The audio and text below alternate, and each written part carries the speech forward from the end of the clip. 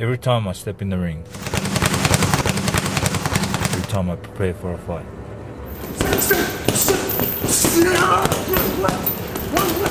I leave nothing behind. The harder you train,